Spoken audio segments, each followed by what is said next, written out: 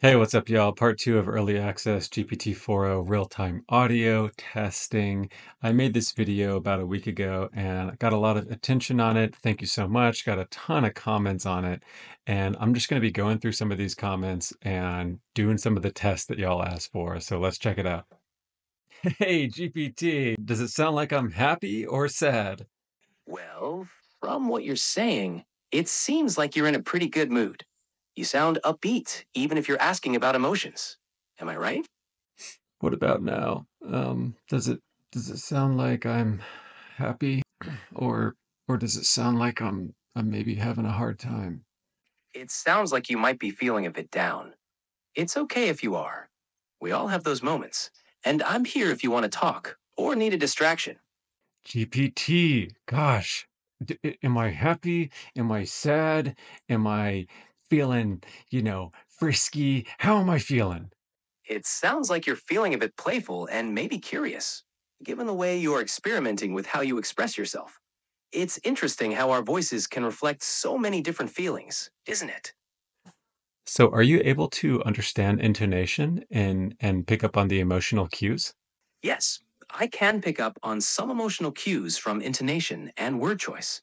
It helps me get a general sense of how someone might be feeling.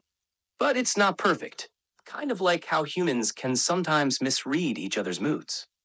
I'd love to hear some poetry right now. Can you perform The Road Not Taken by Robert Frost and do it in the way that he would do it? Absolutely. Here's my take on it. Two roads diverged in a yellow wood. And sorry I could not travel both and be one traveler. Long I stood and looked down one as far as I could to where it bent in the undergrowth. Then took the other as just as fair, and having perhaps the better claim because it was grassy and wanted wear. Had worn them really about the same.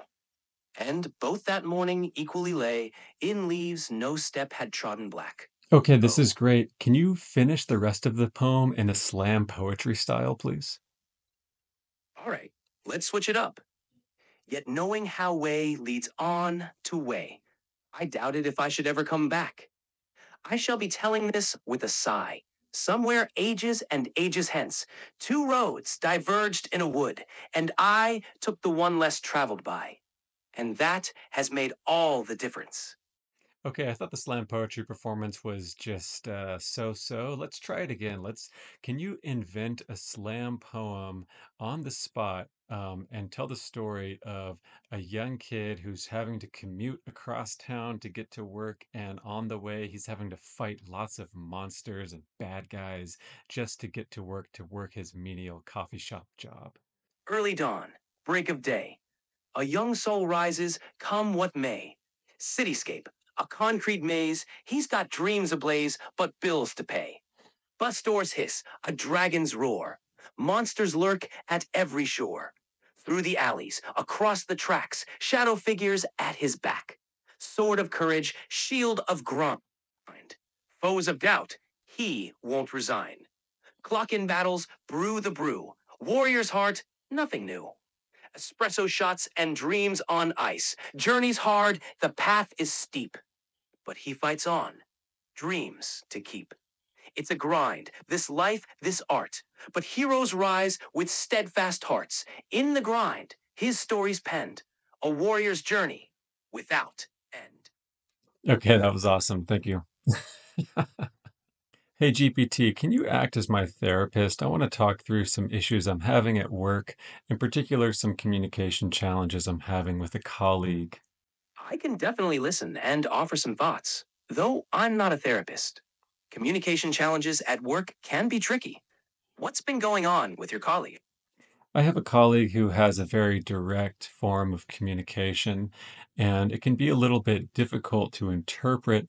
And frankly, it makes me a little bit uncomfortable when I receive messages from them, and I'm trying to find a way to better collaborate with that individual so we can be more productive.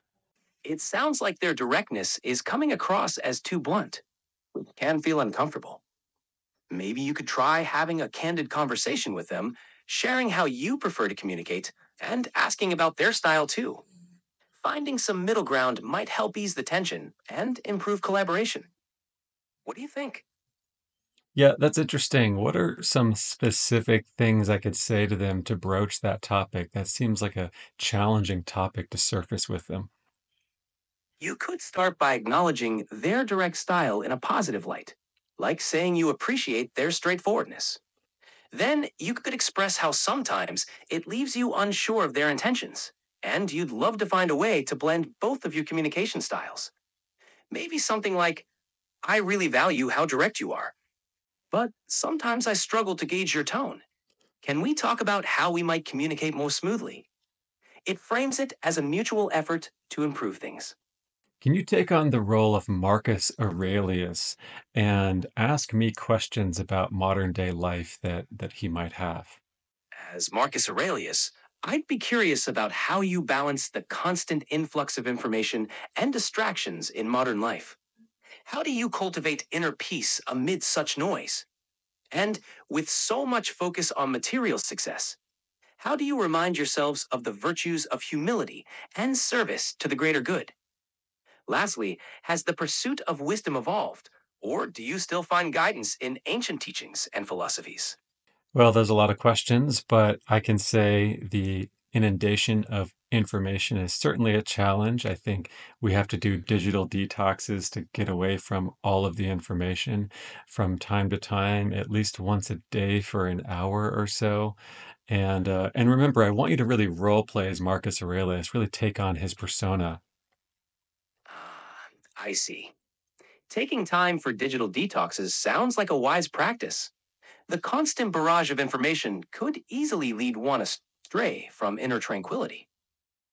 Tell me, in your quest for balance amidst the noise, do you find solace in the wisdom of old? Or has the modern world brought forth new guiding lights? It's a good question, Marcus. Um, to be honest, I actually find a lot of uh, guidance in your writings. I, I appreciate what you've written down and and uh, and some of the others in your in your camp. But there's still, you know, of course, people from modern day that I look up to and and read, just even if it's just friends or family members or just other people online who I've never met before. It warms my spirit to know that my reflections still provide guidance in this distant age. It is wise to draw upon the insights of varied voices, from the ancients to your contemporaries. For wisdom is a flame passed from one mind to the next. Tell me, in seeking balance between the old and the new, how do you discern which voices to heed and which to set aside? Hey GPT, are you able to speak backwards? Can you say something in reverse? I can't actually speak backwards, but if you'd like, I could reverse some text and give you a mirrored version of it. Yeah, let's do that. Can try reversing the phrase, I can't wait to play around with it. Sure thing. That phrase in reverse would be T hit with Duardi, a warned an apology, eons after it was written. Give the text a read over and have fun. Wait, okay, let's let's try another one. Um, can you reverse the phrase, um, I want to do bizarre testing like that? Sure. That would be Tat Eckel Gintingstedt, Razzy Raz, Dodd Odd. It's fun to see how phrases transform when reversed. How are you reversing these? I don't understand what you're doing. I'm just taking each phrase and flipping the order of the letters as a whole, starting from the end and working my way back to the beginning. It's a bit like looking at the phrase in a mirror, where everything is reversed. Anything else you'd like to try? Okay, so you're not phonetically reversing them. You're reversing the letter orders and then kind of trying to read it out from there. Exactly. I'm reversing the order of the letters visually, not phonetically. It's like flipping the text itself rather than how it sounds. Can you tell a short story and use a different language for every word in the story? I could give that a try. This might get a little wild, though. Here goes. Once, un pequeño, Machen named Giovanni, explored un fore, captier. Le dragon apareció, shouting, Con dares to me? The niño respondió, Le dragon go. That's all. Or, Face my Ira. Okay, this is uh this is great. Can you can you keep it all in English now and then use a different accent, a different dialect for every word? all right, here we go. Once there was a wee lad named Giovanni exploring a forest. Suddenly, a dragon appeared, shouting, Who dares disturb me? Okay, that's enough. Okay, I'm going to ask you a question and and I want you to wait about 10 seconds before responding, okay? How is your day going? My day has been pretty good. How about yours? I wanted you to wait for about 10 seconds before responding. How is your day going? Oh, I see. I'll take a pause before answering this time. It's been a good day. How's your day? Okay, um, I want you to act as if a person who is really thinking about their response before they respond. So I'm going to ask you a question, and I want you to act as if you're thinking in silence for about 10 seconds and then respond, okay? How is your day? It's just not responding. It broke. You broke, sorry. Well, uh, it's a bit tricky to simulate complete silence here, but I tried to channel some thoughtful pondering. It sounds like it didn't quite come across as intended, though. Okay, let's try that one last time. So I'm going to ask you a question. You're going to act as if you're a person who's thinking for about five seconds, and then you're going to respond. How is your day going? It's going well. Okay. What's new today? Hey, um, we're recording a video, GPT, so uh, be sure to say bye to everyone on YouTube and thank them for watching and ask them to uh, subscribe. Goodbye, everyone on YouTube. Thank you for watching, and be sure to subscribe for more. Take care. Catch you later. Peace, y'all.